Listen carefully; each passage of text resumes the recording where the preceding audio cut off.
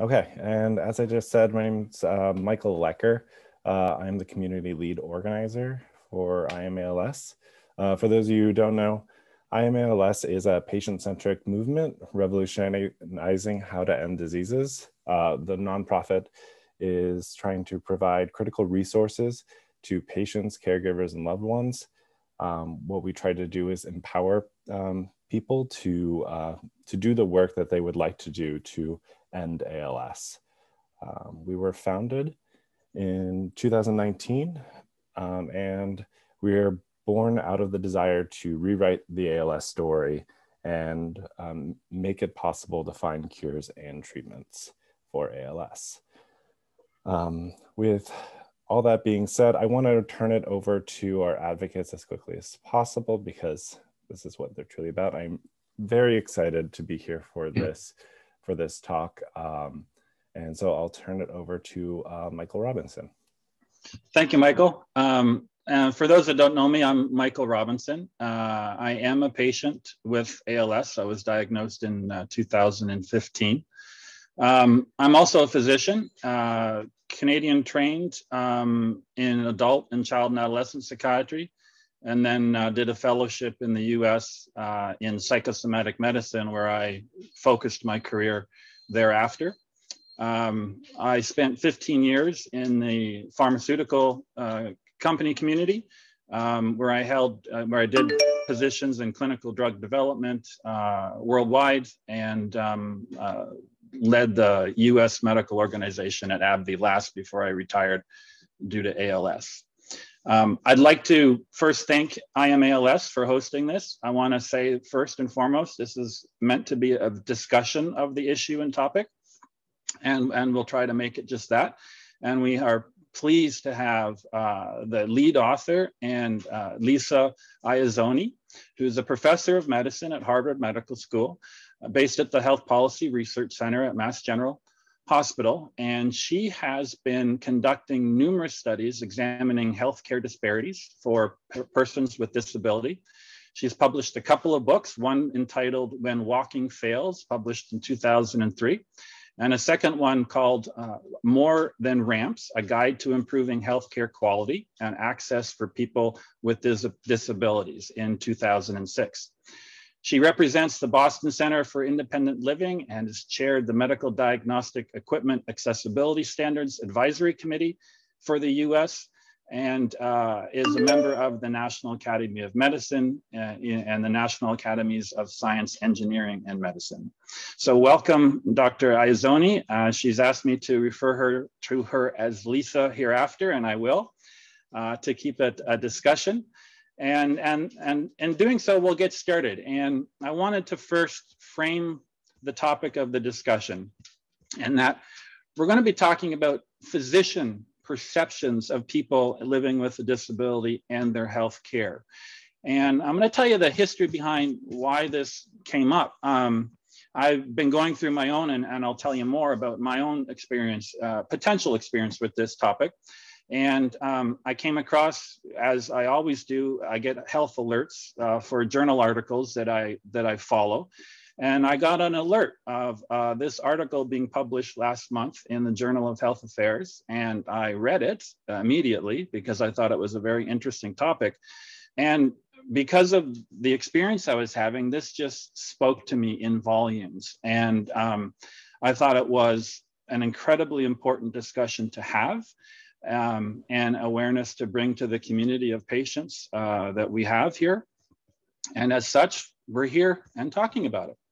Um, I've, sorry, I've, I've, introduced myself and I've, so I, in, also in my medical career, I, I held numerous positions at various universities um, and I'm a member of the I AM ALS clinical trials team that uh, I joined in 2020.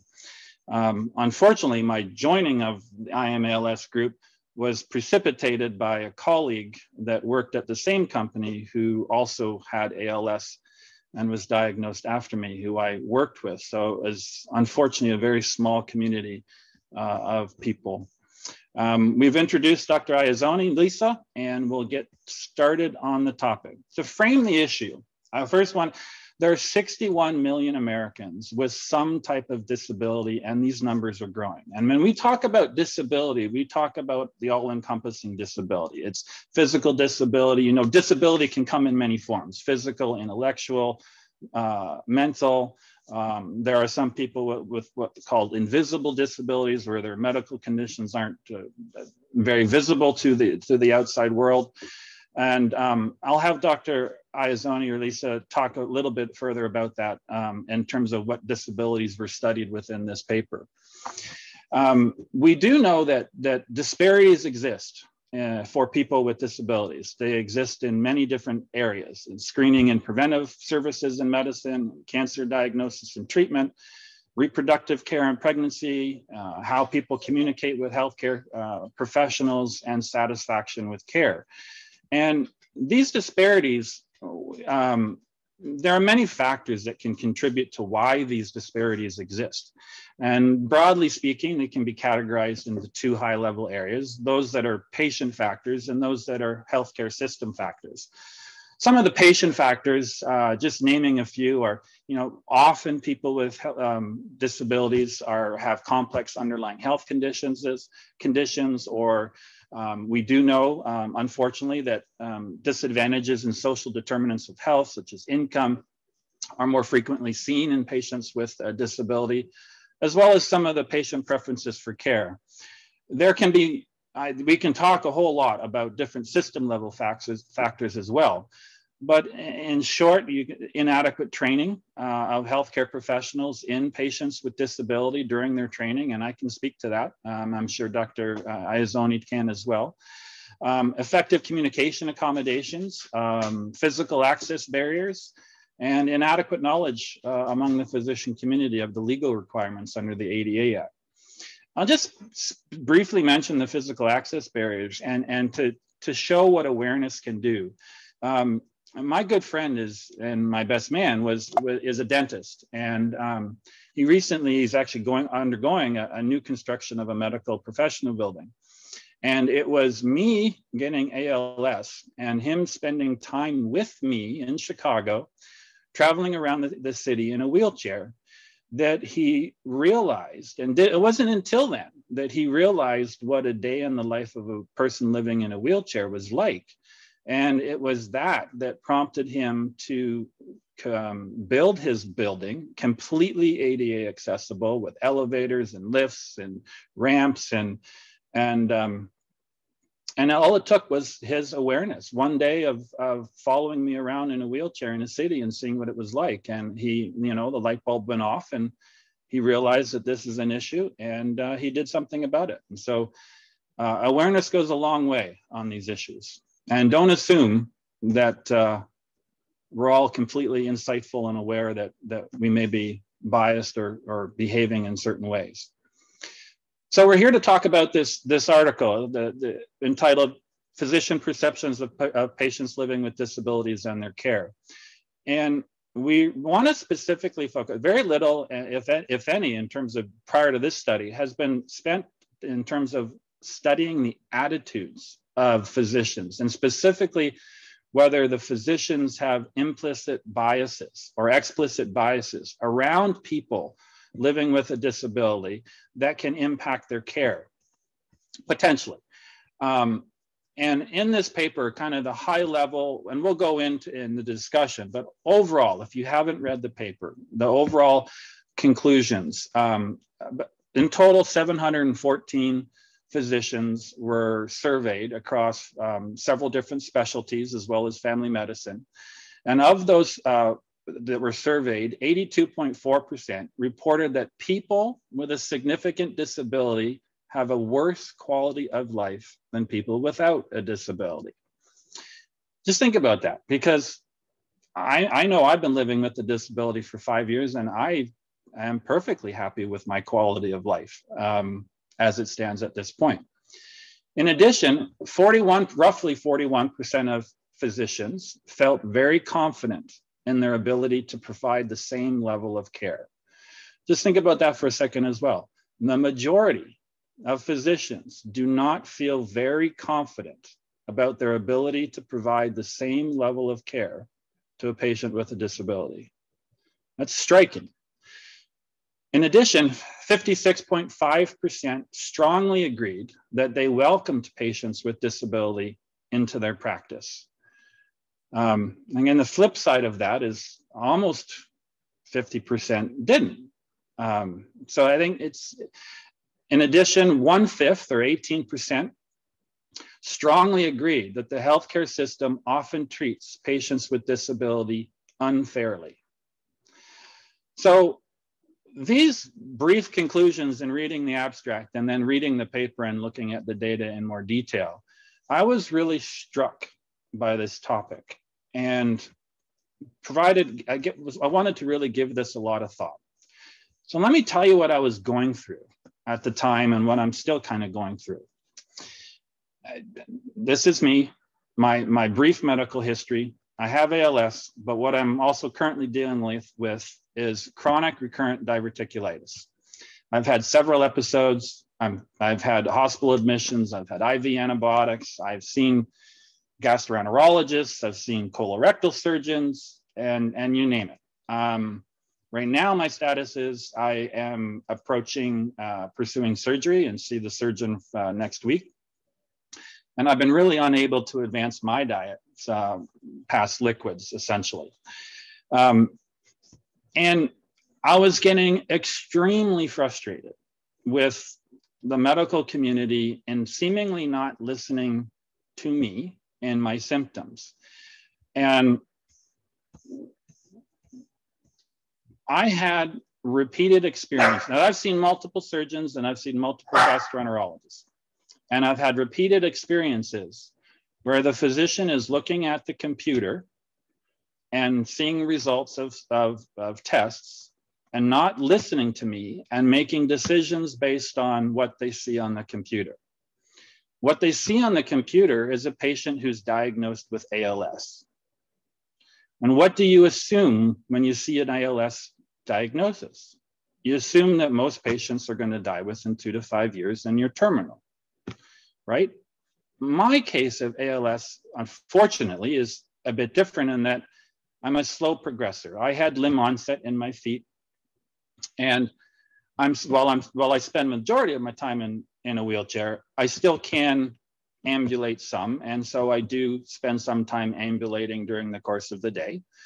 And my ALS hasn't appreciably affected my ability to speak um, or my, my hand, hand, dexterity. My hands are weak and stuff, but, but not to the degree that I have significant functional impairment. So I was seeing doctors for this chronic diverticulitis I was not being listened to. Um, and it was a discussion that was precipitated by a colleague of mine who was a good friend in Canada. And we were talking about my experience, we were talking about my symptoms, and we were wondering what to do. And he was helping me think through the issue. And he is the one, it wasn't me, he is the one that brought up do you think it's ALS? do you think that your doctors are making treatment recommendations on the assumption that you're going to die soon because they see ALS in your chart and they don't spend a lot of time with you as a patient? Um, and I think that part of this was likely aggravated by the COVID scenario, in that a lot of visits are virtual. Um, but so I thought I, I really gave thought to this and I asked myself, uh, this, this could be going on. And in short, I ended up confronting one of the physicians that was uh, caring for me at the time and asked them, do you think that this, do you think that my ALS diagnosis is impacting your recommendations for care? And I came, honestly, I came, I have no problem being direct as another physician with, with my fellow colleagues. And so I was very direct, and to my surprise and to his their credit, uh, they acknowledged that that was probably playing a significant role in the recommendations that they were making. And it was that discussion that then led to a discussion about more aggressive treatment options that he would be offering a patient without a disability in my scenario and without the ALS diagnosis. So I lived through a real life experience that happened exactly around the time that this article was coming out and confronted the one of the physicians that was caring for me about the issue and they acknowledged that that was probably occurring so i thought if this is occurring like this i wonder how many other als patients experience the same thing or maybe experiencing this a similar thing and not knowing that it's occurring. And what can we do to initiate the discussion on this topic? What can we do as patient advocates to facilitate getting quality care um, regardless of our diagnosis or what disabilities we may or may not have? Um, and so i really stress that in my experience in the medical field and in living with als that I've had to have constant self advocacy on my my medical care. And i will say my medical care outside of als my als care has always been fantastic. Um, the doctors have been extremely helpful. And when i first encountered this issue in terms of potentially being my ALS diagnosis biasing other physicians and how they approach treatment recommendations for me.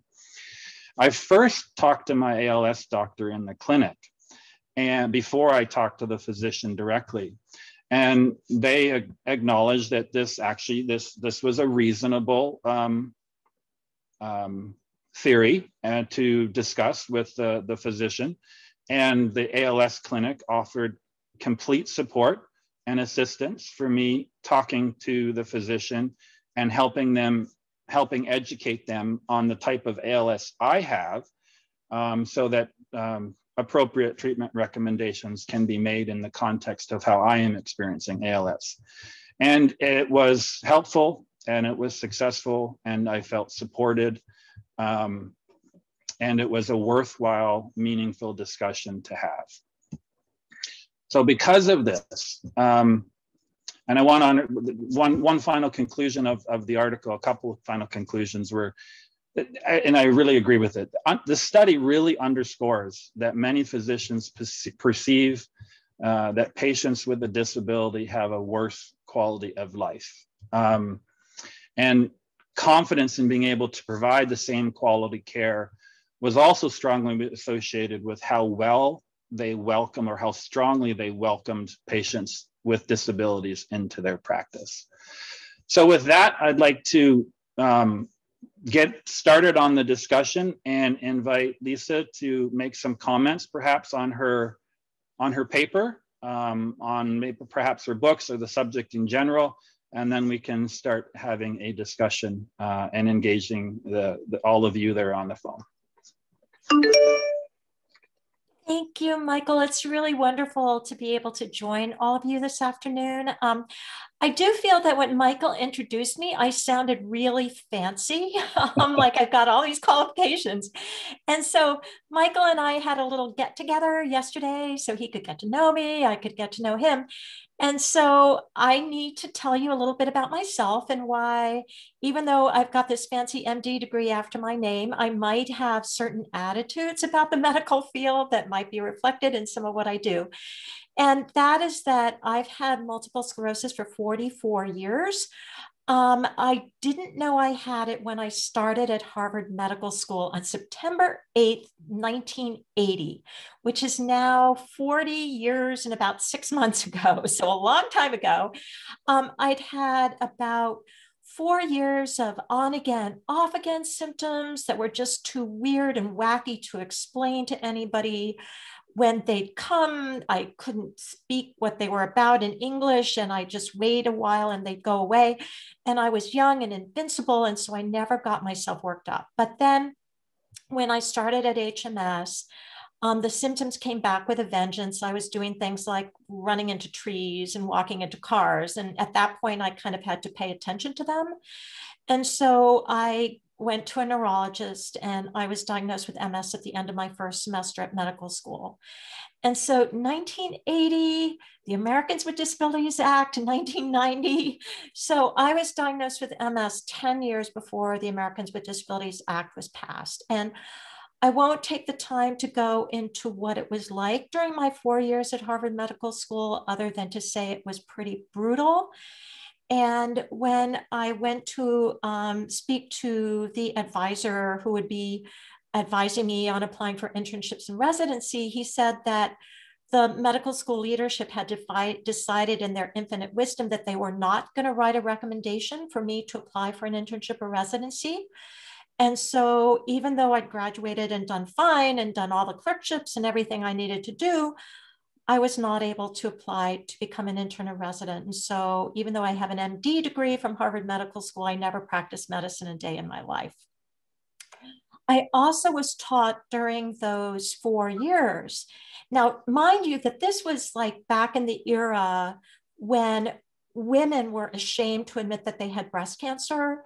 Um, you know, most of you are probably too young to remember that, but it was only when Nancy Reagan and Betty Ford were in public with having breast cancer that all of a sudden pink ribbons started going out and women started being willing to talk about the fact that they had breast cancer. And so this was back in an era when it was a, a you know, a mark of shame if you had a disabling condition, and especially a mark of shame if you had a condition that physicians in medicine could not cure.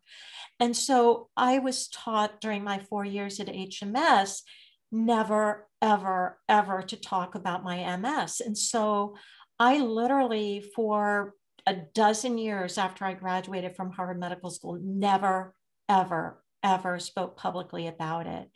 Even though in 1988, I started using a wheelchair and my friends and colleagues were really worried that my MS had progressed and something was going on with me.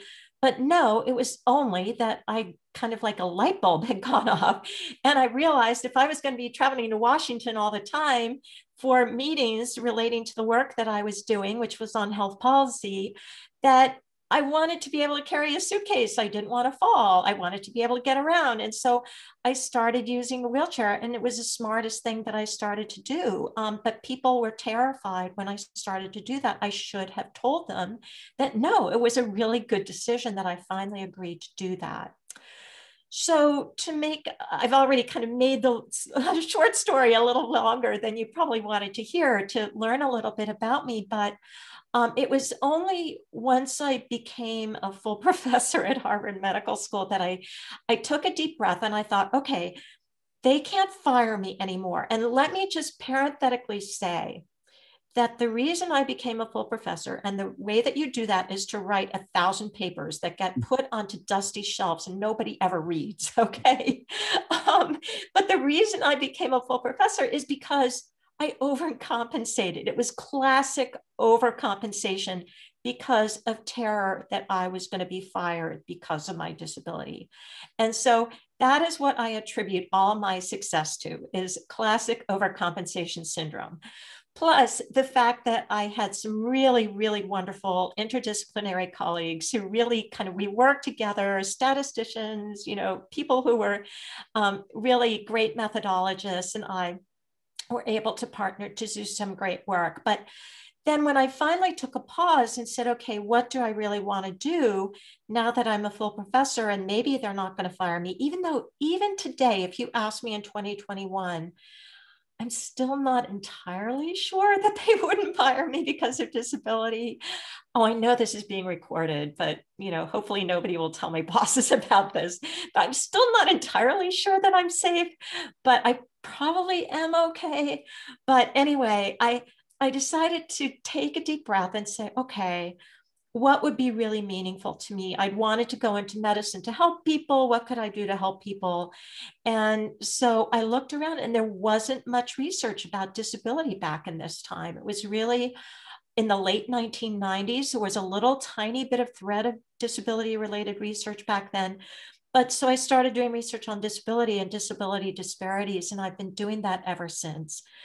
And as part of that, I've probably I've I've conducted research with all sorts of different data sets, you know, ranging from huge administrative databases, cancer registries, enormous federal surveys, but also interview studies with 20 people. Um, and I've probably interviewed about 200 people um, in depth for all my studies. And what I would hear from people with disability is all of the barriers that they would face in terms of getting healthcare. And um, they would face barriers about exam tables, not having an accessible weight scale, um, not having their physician talk to them about certain um, types of subjects. But it also became clear that they felt like they faced erroneous assumptions from their doctors, that their doctors made assumptions about what their goals in life were, what their preferences for care were, that did not comport with the people's own views about what they wanted from their doctors. And so um, we and my colleagues and I applied to NIH, and we were fortunate to get a grant to do the first ever national survey of doctors. And their perceptions of and experiences with caring for people with disability. And as Michael said, it, this was a nationally representative sample. Um, for those of you who know about surveys, we um, had a 61% response rate, which is really, really good. And the way that we got that is that we put a crisp $50 bill in every survey that we mailed to doctors, because the dirty little secret is that doctors will not answer surveys unless you pay them to do it.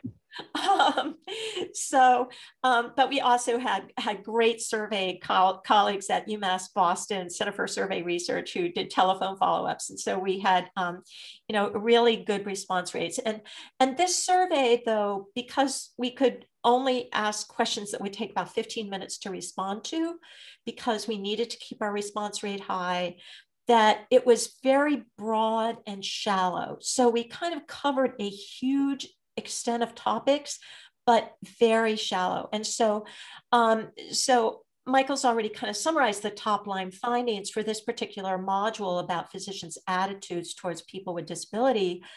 But I could not tell you why the physicians responded the way that they did. We know that they did respond this way, but I can't tell you why.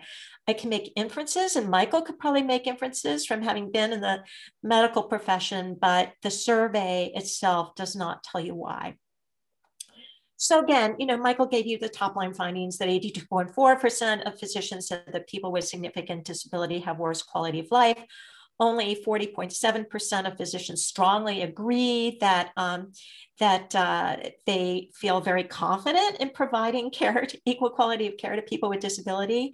And only 50 6% of physicians um, welcome people with disability into their practices.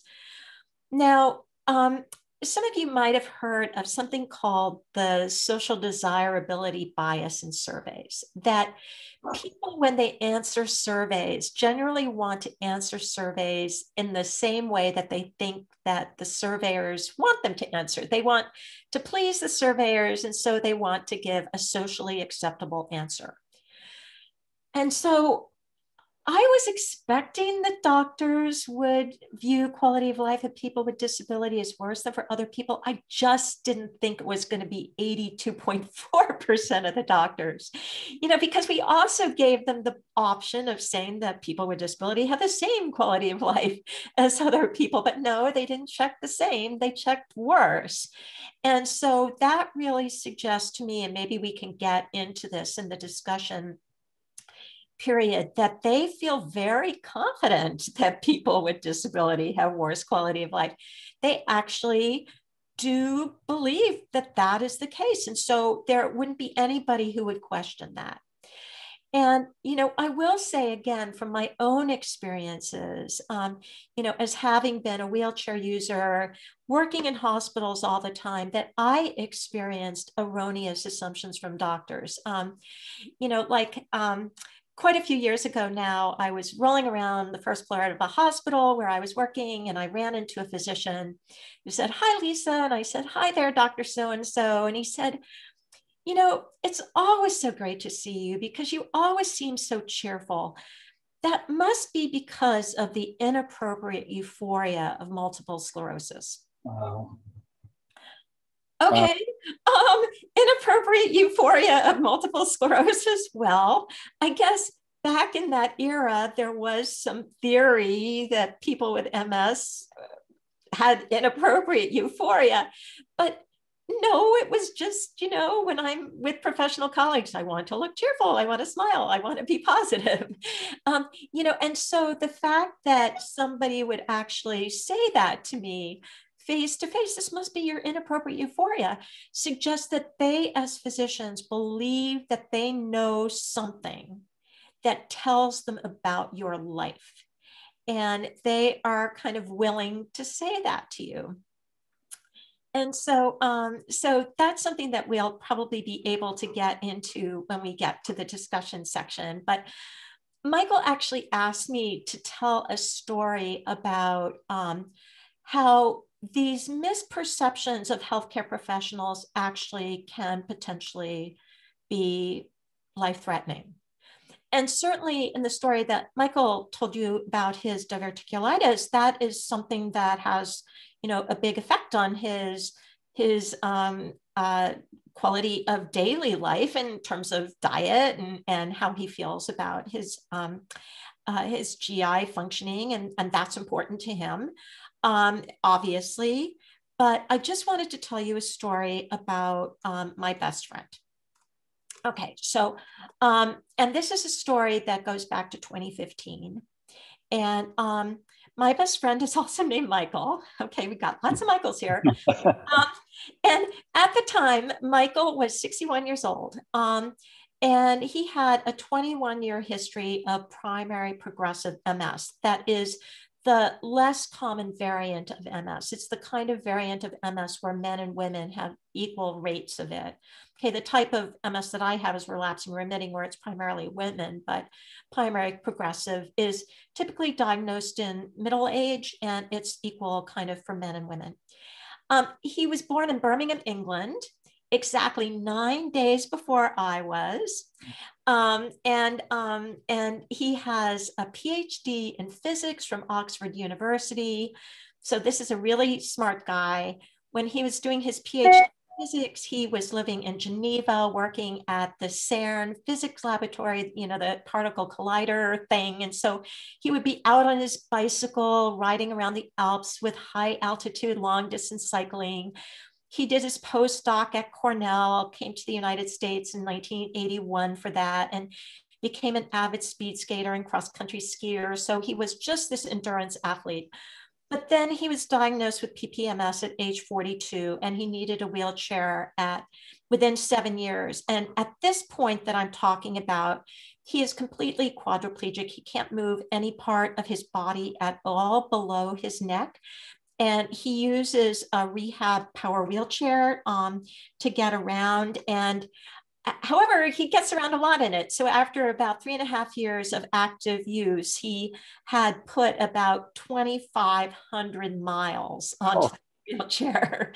okay, um, so so he was getting around. So Michael at this time was a member of a very tightly managed care um, health plan. So um, Michael, again, um, is my best friend, and I became his healthcare proxy. Um, and um, so at this time, I was his healthcare proxy, but I respected his desire to advocate for himself. Again, he's a really smart guy. He, like this other Michael that we've just been talking with, um, your Michael, um, liked to advocate for himself and wasn't afraid of kind of speaking to his healthcare providers. But in March of 2015, my Michael started complaining of loss of appetite, early satiety, in other words, he'd feel full pretty quickly, occasional vomit, vomiting and nausea, reduced food intake, and change in bowel patterns.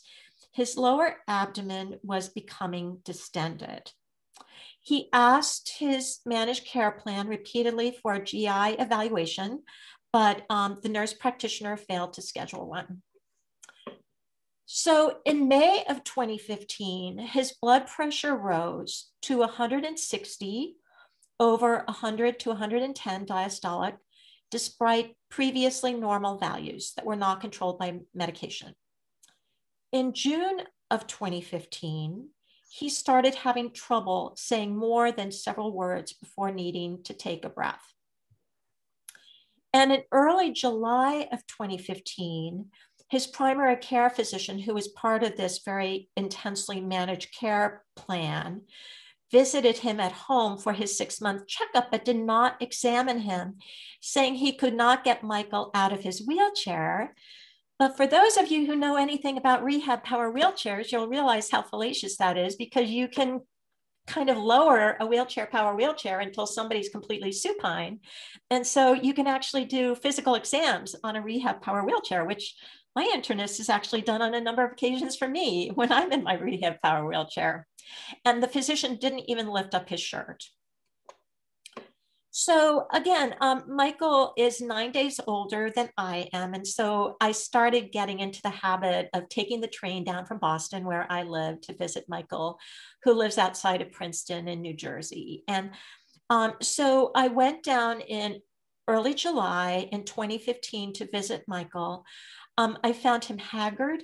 He was unable to eat. He vomited his shrimp that we gave him for his birthday dinner. Um, he had difficulty talking. He had a hugely distended lower abdomen, and he also had grossly swollen lower legs. Um, and even though I respected Michael's desire to advocate for himself, I know that even though I've got an MD degree and never practiced, at least I can talk doctor.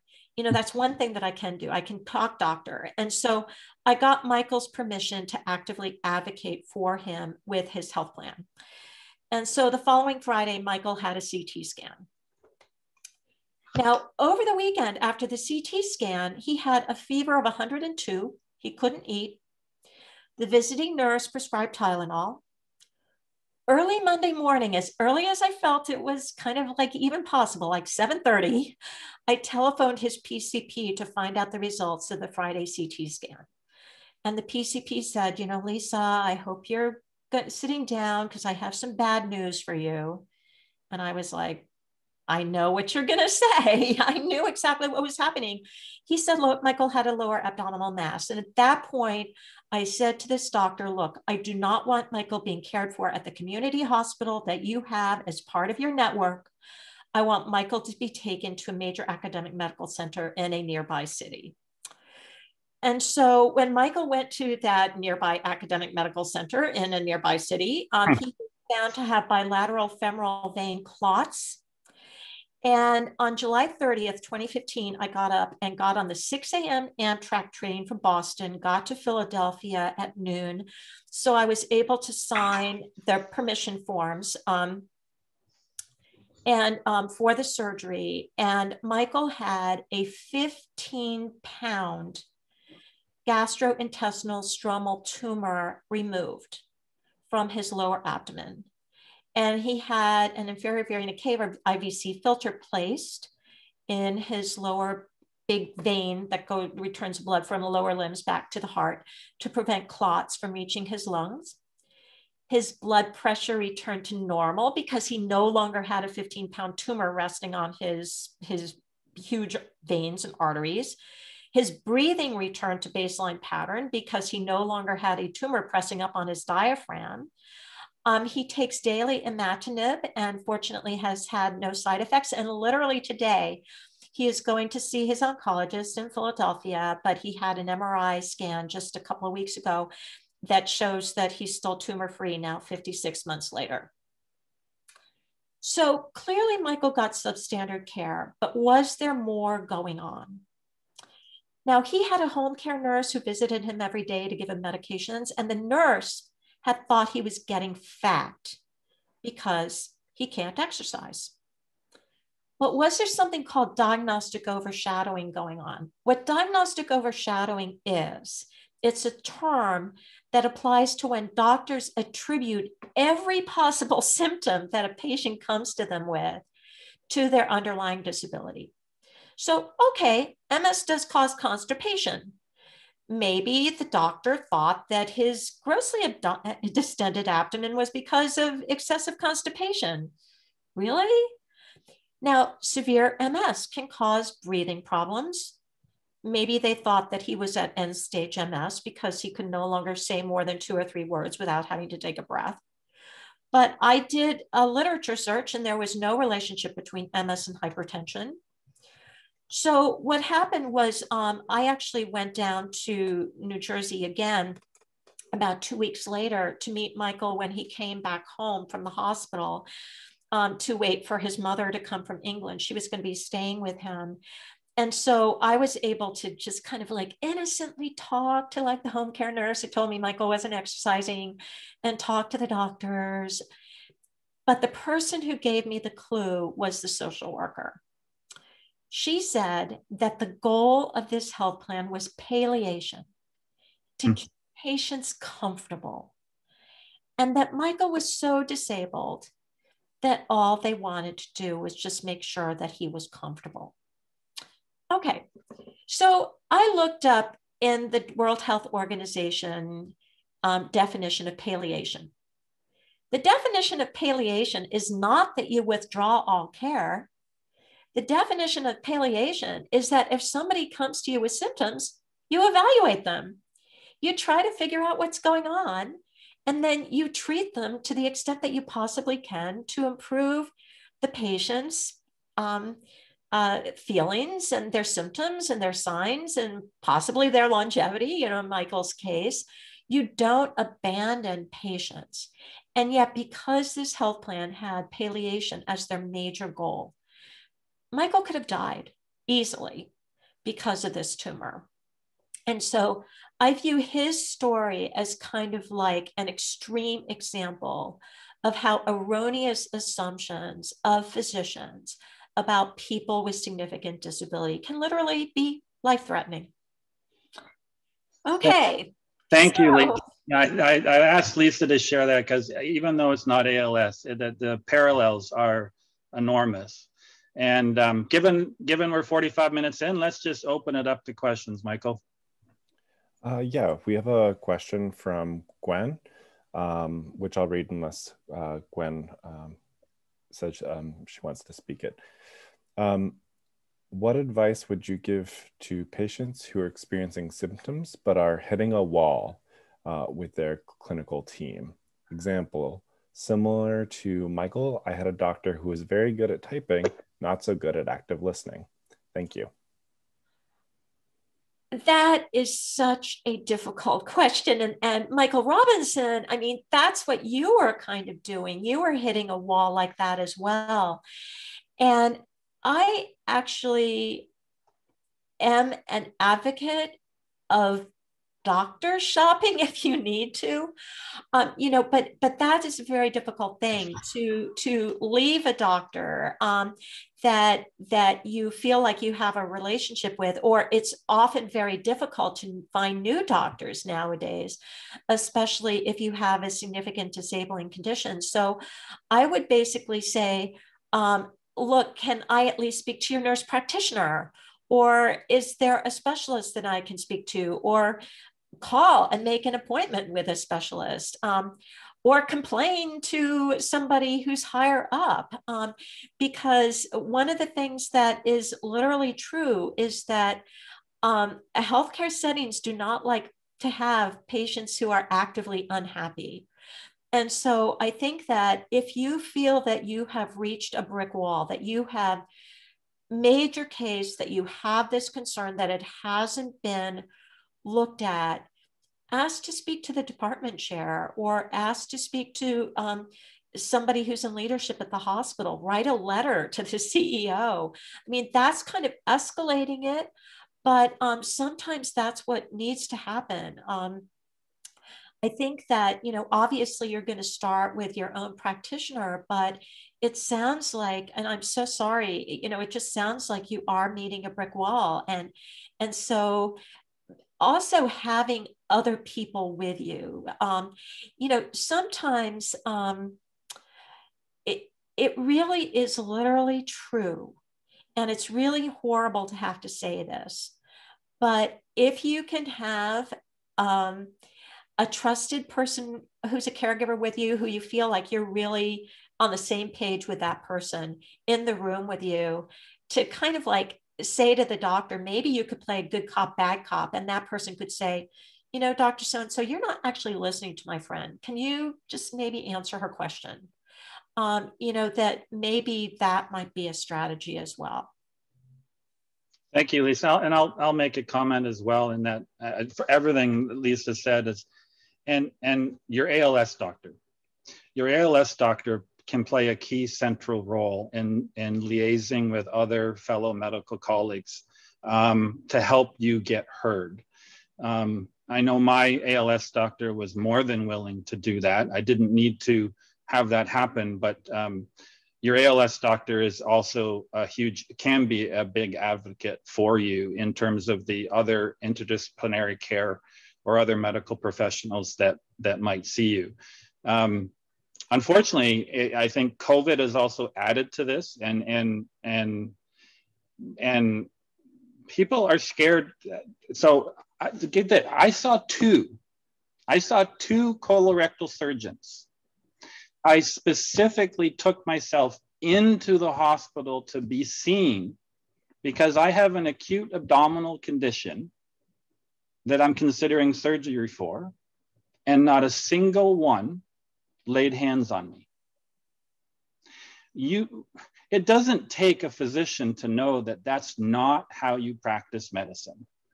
And that's when I chose, uh, like Lisa says, I'm doctor shopping and I'm seeing the third one next week because I just will not go under the knife on somebody I just don't trust. And that's that's a sad case of now that's just my experience. Um, not all are like that. I see many fantastic doctors along the way. Um, uh, and in my ALS journey to being diagnosed. Uh, I was scheduled to have neurosurgery. I was scheduled to have back surgery with four doctors seeing me, one doing a two minute physical exam that I knew was wrong. So I took myself to an orthopedic surgeon who actually was the one that got me in the next day to a peripheral neurologist that headed down the the ALS path. So there are there are people, there are doctors that will sit, will listen to the patient, um, and sometimes you have to be more forceful and persistent to get yourself heard.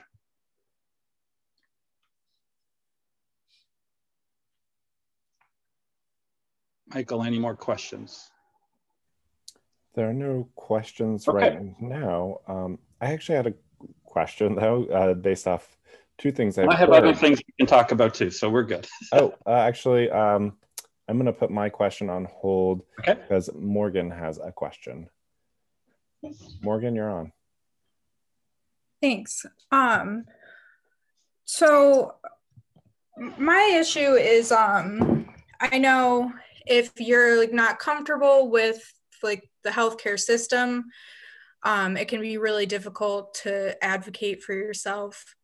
Um, do you guys think that there is something that can be done to kind of attack like the root of this problem by like addressing this implicit bias that physicians have?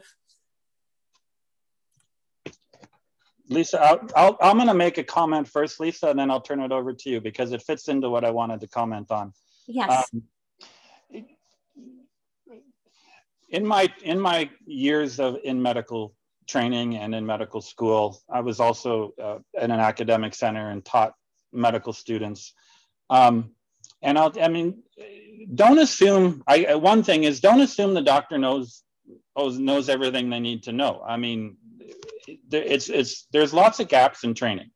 In in medical training, when I trained, you got one hour of pain management training. That was it um, apart from your clerks, you know, your physical rotations in the hospital. Um, I gave one hour of HIV medication training. That's it.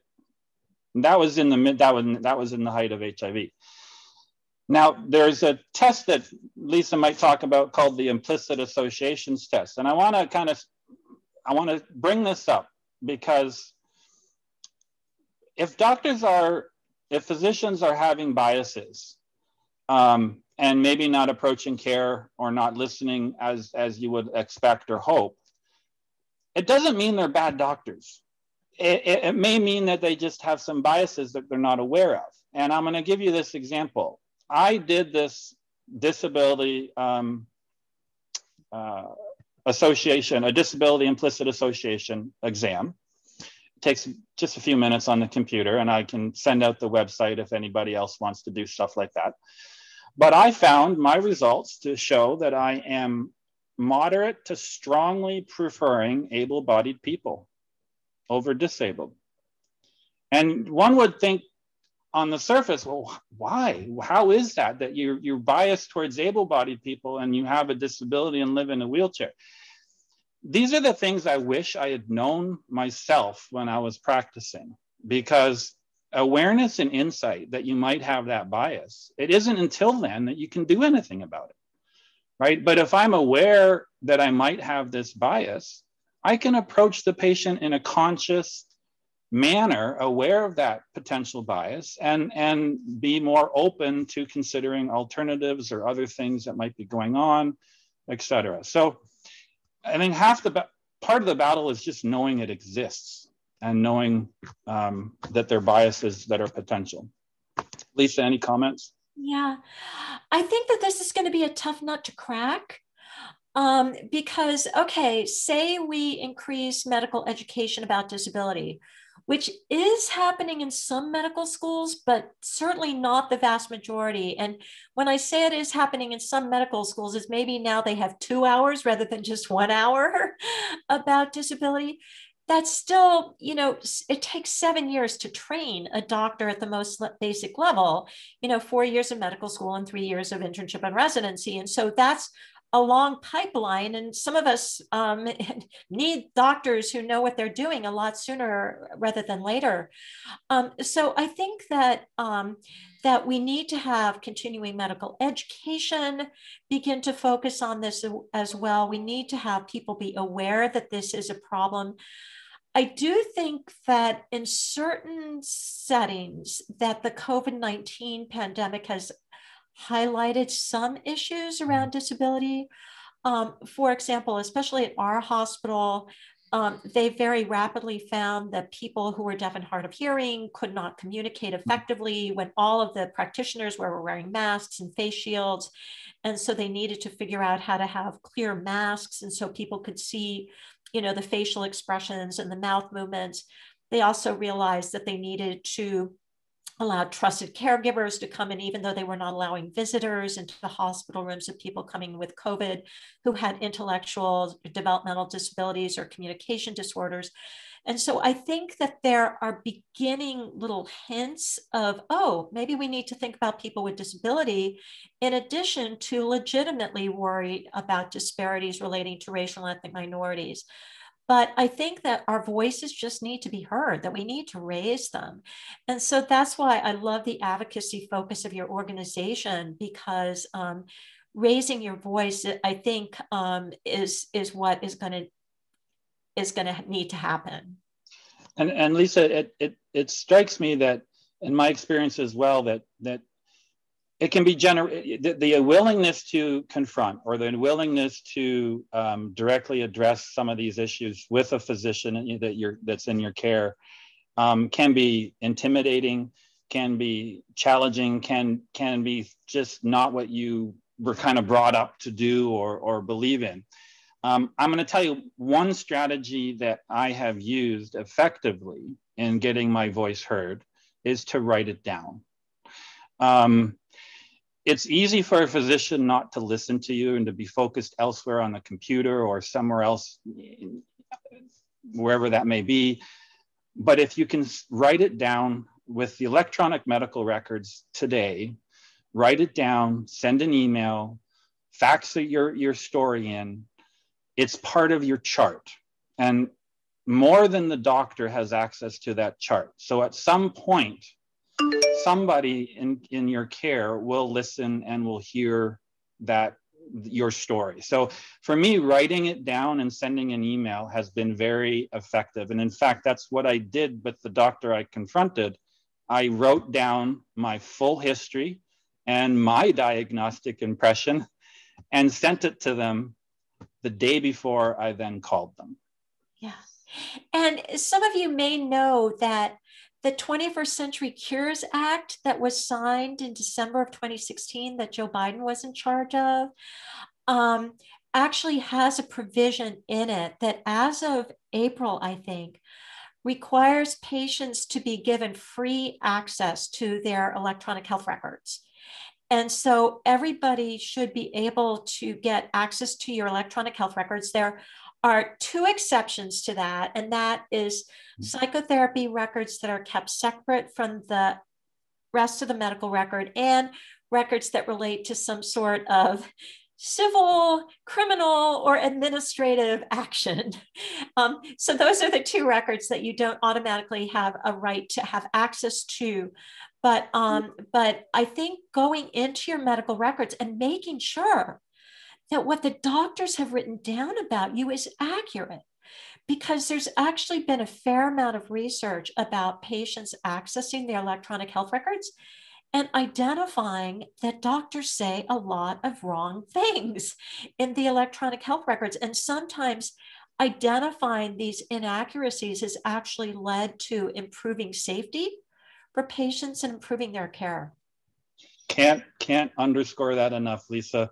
I was when with a second opinion uh, ALS physician that refused to write an opinion after an after one visit. So i saw them for a second visit and they never did a single physical exam for a second opinion that ended up having contributing to me needing to get a disability attorney in order to successfully have a disability claim because of what they said in the chart.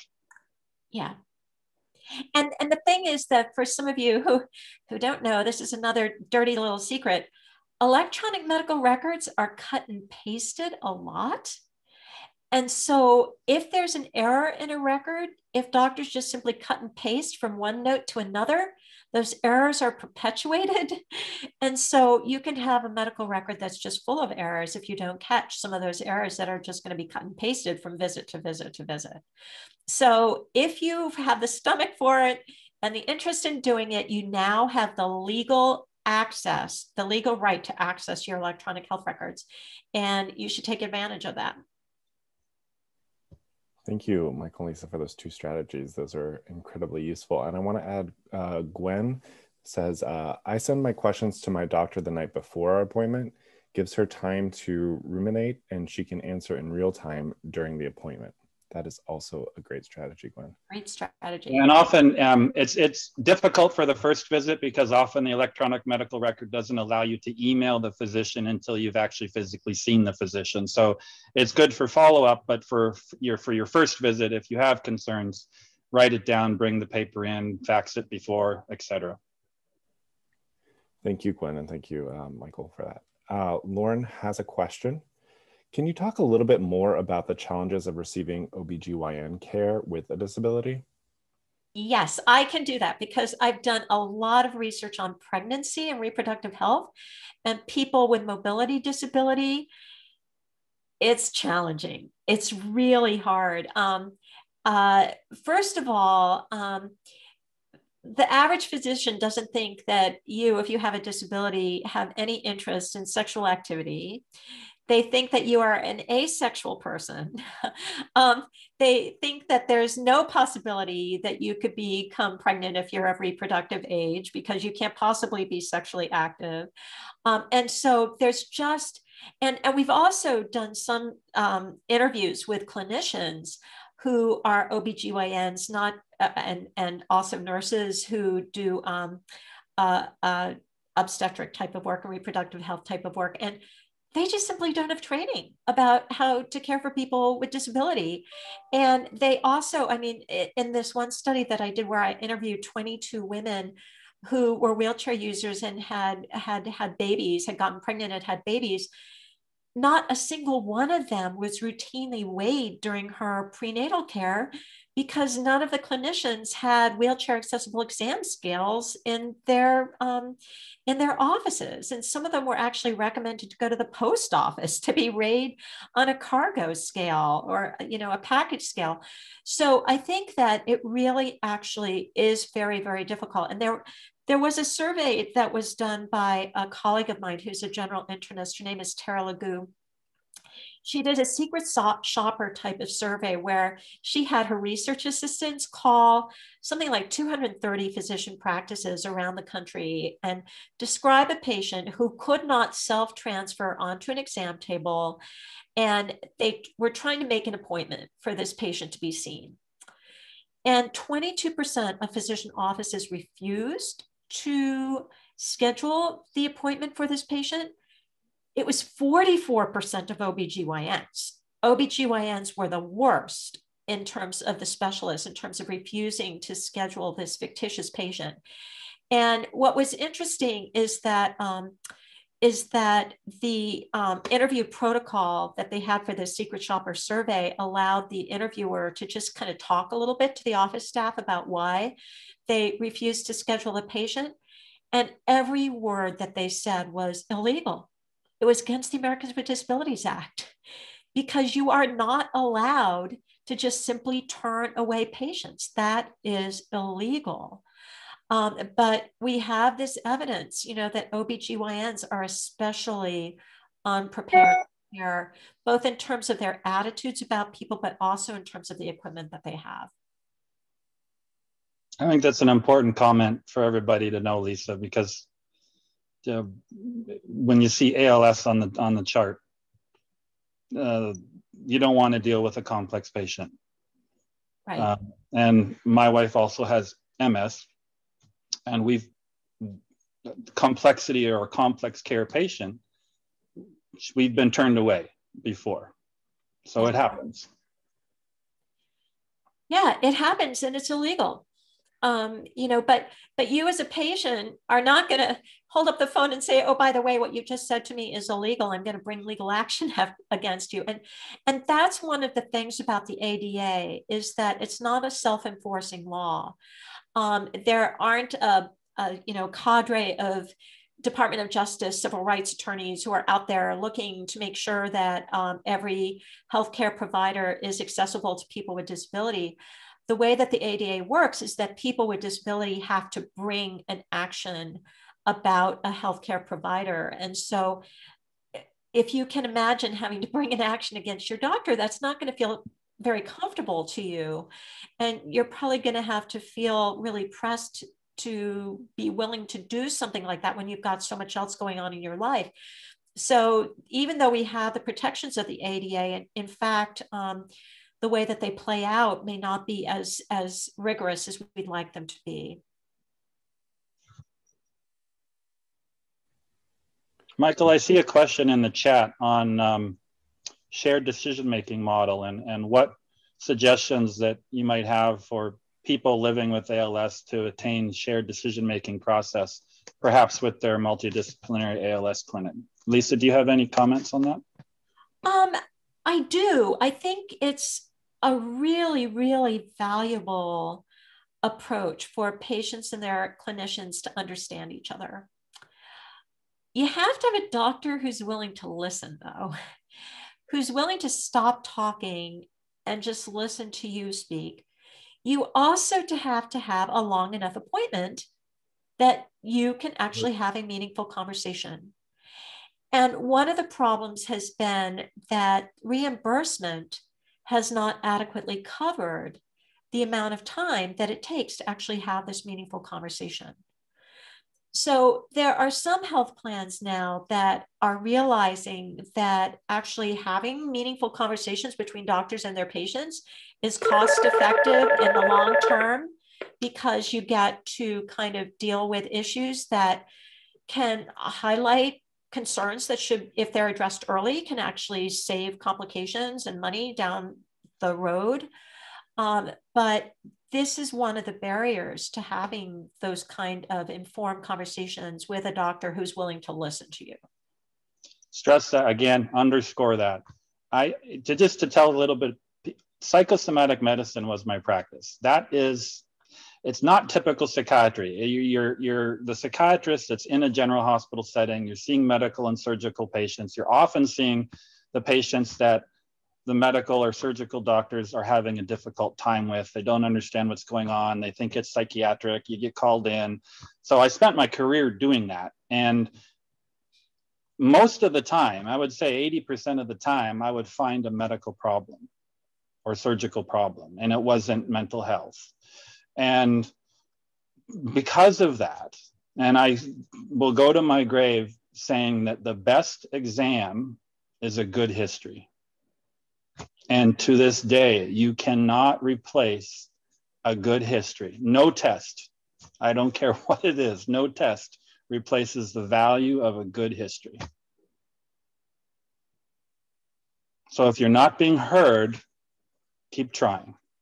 Yes.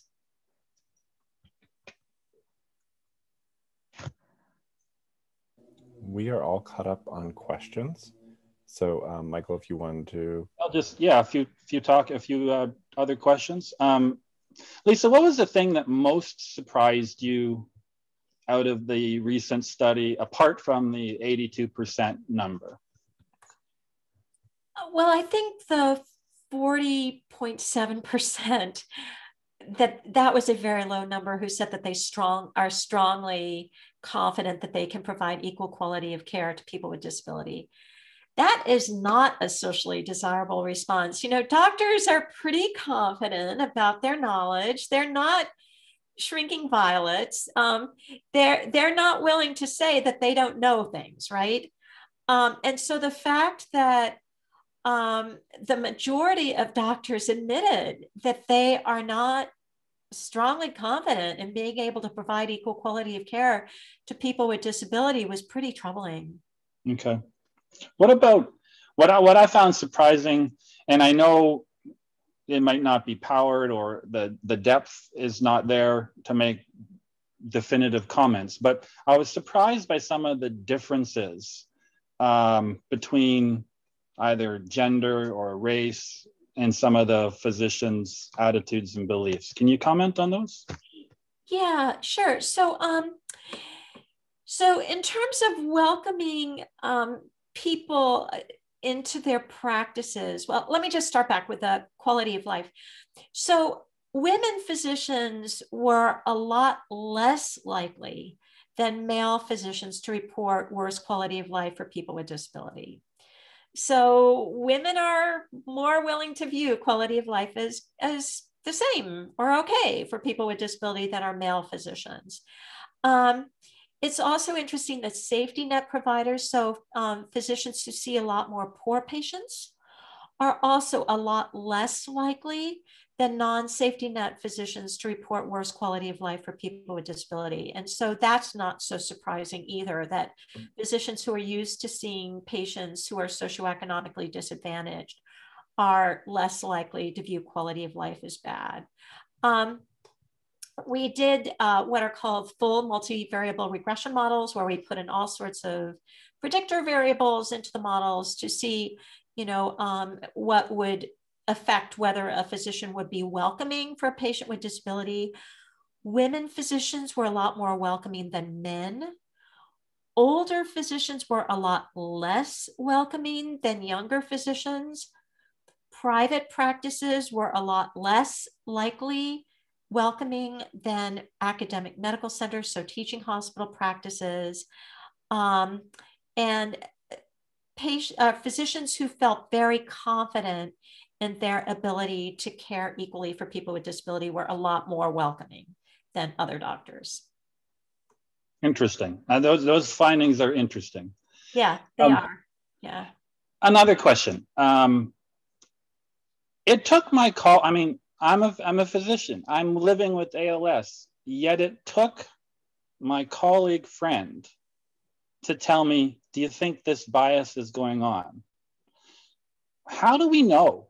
How, what, how will a patient know that biases might be playing, biases towards disability might be playing a, having an impact on their care? Well, it's a it's a great question, and I think that uh, one of the reasons that I was so intent on publishing this as the first paper to come from this survey is that I think it's very validating. You know, I, again, as I told you, I've interviewed probably 200 people with disability, and a lot of times they will talk to me about the erroneous assumptions and the way that physicians kind of treat them. But they're never sure that, you know, they they kind of don't really know what's going on. What these findings show us is they validate that the presumption that doctors may be underestimating our quality of life is probably true. Um, you know, even Michael, my friend, who's such a you know strong advocate for himself, and um, and somebody who can clearly speak for himself, um, was unable to get the attention of physicians and, and wasn't willing to say, look, I think that you're just not paying attention to me for whatever reason. Um, and so I think just, you know, again, that's one of the reasons why it was just so wonderful to hear about your AM, I AM ALS advocacy perspective because you're trying to self empower, you're trying to empower your members to advocate for themselves, to feel that their feelings are valid. Um, and and and so just kind of think about, hmm, maybe this doctor just isn't asking me about my quality of life, doesn't really understand about my life. And so um, can I have a conversation with my doctor about my quality of life? Um, and I, I, think that, you know, that kind of self-advocacy mm-hmm. is also important. I'll add to that. And, and uh, it was it was through in my one of my experiences being an inpatient in hospital um, and the, you know the doctors come in and out and they're in and out in a very short period of time. And in hospital often it's a different doctor every day because the hospitals change every day or it's the way different systems work. Um, and so and I'll, and I'll underscore this the nursing staff is so critical as a potential partner in your advocacy with the physician to help them under they more often than not i've been able to the nurses listen and pass the, the information on to the doctor and that's how i've been able to advocate well in a hospital setting um, so i wouldn't I, I just underscore that nurses it's not just the doctor that's part of that practice or that setting it's there's other healthcare professionals associated with that that are involved in your care that you can uh, uh, approach as well. Yeah, that's why I think I, I mentioned in response to Gwen that if her doctor is not talking to her, she should see whether there's a nurse practitioner in the office and maybe try to enlist that person um, to uh, to help her kind of make a um, an inroad with a physician. I so I agree completely. Just want to um, read Jeremy's comment, which is aligned with what uh, you all are saying. One thing I think is valuable from self-advocacy standpoint is finding an ally within the clinical staff, within the clinic staff.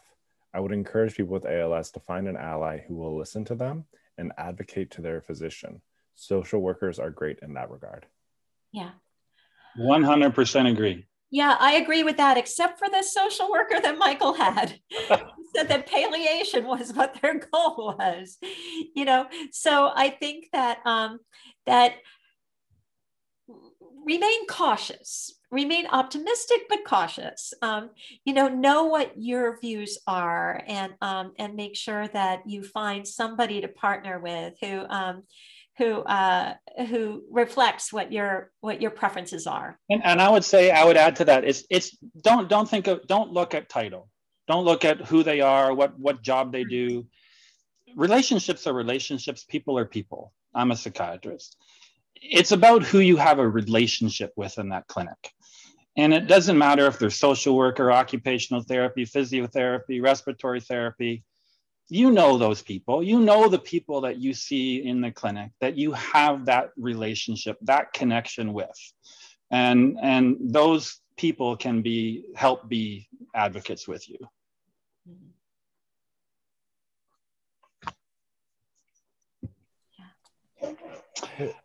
I had a any, any follow-up to this study lisa it's a great question and we are going to try to be able to do a similar survey with other healthcare professionals um, to see if your theory, for example, about nurses bears out. Um, I suspect that it will, but I'm not 100% sure. I need okay. to have that proven empirically.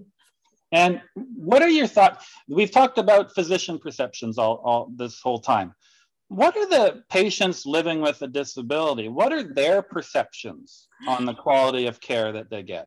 Well, their perceptions about the quality of care is that it, it often is not great um, because often their wishes are not respected and the communication is not what they want it to be. But I think also the issue about their quality of life that I don't mean to imply that every person with a disability is going to have a good quality of life because some disabling conditions yeah. can be very painful, can be emotionally just very devastating. And so I don't mean to appear to have rose colored glasses about this. I'm a realist. You know, I've had MS for 44 years, I'm pretty reality based. Um, but I think that the surveys that have been done of people with disability suggest that we adapt we figure things out. You know we you know 24 7 365 we live with our disability we figure it out. And we don't want to live in tragedies. And so the majority of surveys of people with disability suggest that they view their quality of life as good. And, you know, my friend Michael, as his healthcare proxy, I repeatedly ask him because I know that there are going to be times when I might have to make a, a decision mm-hmm. relating to his life. Like he got COVID in April. Um, and so one of the first conversations with I had with him after he he got that was Michael, are your preferences still this? You know, so I know explicitly mm-hmm. what his preferences are. Um, I think that uh, you know people with disability, even with significant disability, may value their quality of life in a way that other people might not perceive. I think that's really important and really speaks to the ALS community. And I know biases that I have. I think one thing to underscore is quality of life is a personal internal decision. Completely and no one can decide that for you and when people make assumptions they can make erroneous assumptions that can impact you and your life and i say that because and, and the, the, the, the issue that faces us as, as an als community is tracheostomy right? And and the opinions on that are widely varied. I know you know and and what one believes when they don't have it might be entirely different than when you're faced with that scenario and and and the choices you make. And i know i know als patients that are trach that live they, they say they have a, a great quality of a good quality of life. I won't say great but a good quality of life and are content. Yeah. Um, and that decision won't be shared by everybody um, but it's an internal personal thing and those decisions might change over time. Like one of the most powerful interviews I had for my When Walking Fails project was with a man who had ALS. And when I met him, he wasn't yet using a vent. His voice was a little on the weak side. So our interview was a little more truncated than it would have been with other people. And at that time, he was saying that he didn't want to use a vent. But as time went on, he changed his mind. Mm-hmm. He did want to use a vent. And so he did use a vent for quite a while. And he had a very good marriage um, with a wife that he loved very much. And um, and um, so he made the decision to use the vent. And then when he decided that he no longer wanted to, he made that decision as mm. well. And um, and I mean, just hearing the story about how that played out. It was just very powerful and meaningful. And so recognizing that people's attitudes might change with the circumstances is also really important. Yeah. Yeah. Mm-hmm. Excellent points. And yeah. something that again, under uh, again, I'll, I'll, I'll stress as ALS patients, we know our conditions progress, they change over time. And these aren't one off discussions that you have once. These are discussions that you have with your team of care providers on an ongoing basis, as Lisa points out, because your, your opinions or your beliefs may change. Yeah. Yeah. Yeah. Yeah. Uh, we don't have any. Oh, Lisa, did you want to say something? No, I just wanted to end on a happier note. you know, it's been a it's been a pleasure talking to you, and I'm just so struck by the fact that you have a, a focus towards empowerment and advocacy that's really, really good because that's what you need to be able to deal with what we've been talking about. Thank you. I want to, on behalf of I AM ALS, the ALS community, I want to thank you. Your, your engagement your willingness to participate and to have a transparent dialogue are, are really valuable to us. And I think we've all learned a lot. So thank well, you. Thank you. It's just been an honor to be with you guys. Thank you. Michael, any closing comments? Well, um, yeah, I would just say, you know, if you are, um, if you need help becoming empowered, which sounds a little bit odd, right? Getting help to become empowered. But I would say that this is practice that we're all practicing at life. And so the way you get good at doing something is sometimes trying it not in front of the professional, but with somebody else. Um, that we do have a navigation program.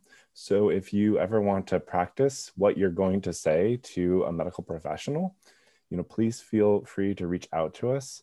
That's um, iamals.org slash navigation or get help at iamals.org. It's an incredible team of people who can help help you practice, help connect you to the resources that you need. Um, and so I would end on that note. Um, Michael, one one one thing before we end. I know you we we said you're recording it, and I noticed a number of people were popping on at two o'clock, thinking there might you might not have recognized the time um, uh, the time zone that we were doing it in. Um, will you communicate your, your intentions or plans if, if this does get reposted or, or, or shared socially? Yes, so I'm going to send out uh, this recording to everybody who is signed up, uh, but it will also be posted to our YouTube channel. Okay. Um, and for those of you who uh, showed up and um, weren't able to ask your question or didn't feel comfortable, you can feel free to send me a question and I and I'm happy to take them by email as well. So you can um, get it to Michael and I can help as well. Yep. Uh, so my email's uh, pretty simple. It's Michael, M I C H A E L, at iamals.org. So just Michael at iamals.org. Thank you both uh, for coming and speaking about this and having a discussion with the community. It, uh, it means so much to me and was just an incredible um, incredible discussion. And thank you, especially to Michael, to for bringing this up and asking us to put this on. Thank you all. Thank you. Take, Take care, care, everybody. Hope Bye, -bye. everybody. Day.